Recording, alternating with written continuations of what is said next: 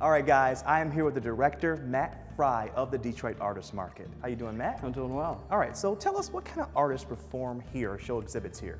Yeah, we have a wide range. The artist market has been around since 1932, so we're kind of the old kid on the block. But having said that, we have a really great range of artists, young artists, uh, our young artists are often exhibited right beside very experienced artists. That's kind of what we're known for. Okay, and what kind of artists come in here? Well, Detroit artists only, right? Detroit artists is our specialty and some from around Michigan. Okay. And we have six exhibitions a year and a multitude of ways for artists to exhibit and sell in the gallery. We have our Elements Sales Gallery.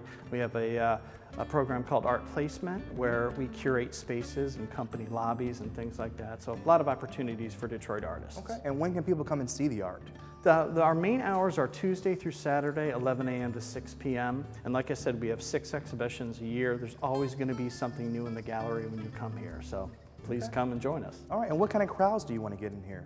Uh, you know, diversity. Everybody throws that word around. We are a naturally diverse organization, so we get a really great cross section of Detroit. All right, well, thank you very much, Matt. I appreciate your time, Matt. Thank you.